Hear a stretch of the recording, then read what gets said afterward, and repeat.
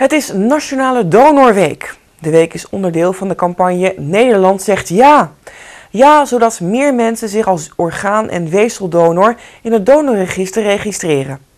Want de vraag naar donororganen en weefsels is nog steeds heel groot en de wachtlijsten zijn lang. Wij willen graag van mensen horen wat ze willen. Natuurlijk willen wij graag dat iedereen zich beschikbaar zou stellen.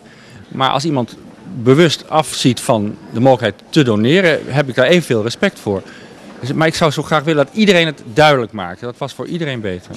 Dit jaar wachten bijna 2000 mensen op een orgaantransplantatie, waarvan 860 op een nier en 71 op een harttransplantatie. Leden van de donatiecommissie van het Medisch Centrum Leeuwarden vragen deze week persoonlijk extra aandacht voor het probleem. Woensdag kon iedereen in de centrale hal van het ziekenhuis vragen aan hen stellen en zich laten voorlichten over orgaan- en weefseldonatie. Meneer Gerritsen, wat houdt het in? Voorzitter zijn van de donatiecommissie.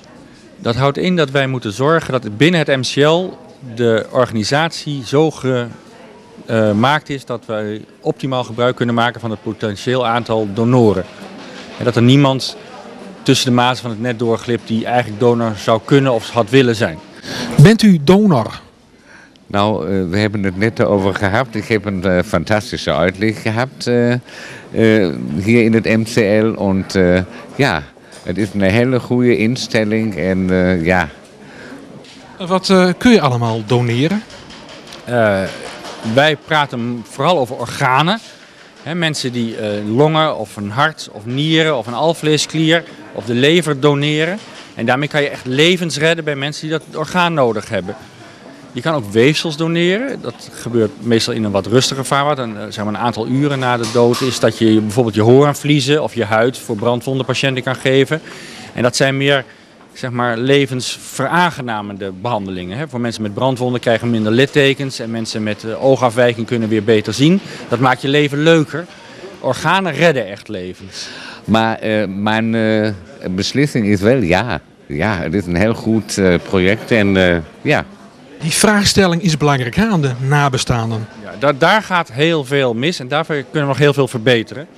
Uh, in Nederland wordt heel veel geweigerd door familie. En mensen die een potentiële donor zouden kunnen zijn, waarbij de familie maar in twee van de drie, of in, sorry, in één van de drie uh, gevallen toestemming geeft. En dat is echt ontzettend jammer. Want daardoor verliezen we heel veel potentiële donoren en daardoor mis, kunnen we heel veel mensen niet redden. Meneer Scheper, bent u al donor? Ik ben donor, ja. Dat was u al een tijdje? Uh, ja, vier jaar denk ik. Ja, ongeveer. Waarom heeft u dat toen gedaan? Ja, ik vind dat het is gewoon nodig. Er zijn zoveel uh, zieke mensen uh, en die een nier nodig hebben of hartkleppen of wat ik maar. En dan zeg ik gewoon van, ja, dat moet je met z'n allen doen. He, de, ja.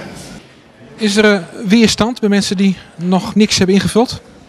Ik weet het niet. Heel veel mensen hebben niks ingevuld omdat ze er nog niet aan toegekomen zijn. Ik, ik merk in het publiek dat de meeste mensen staan daar positief tegenover.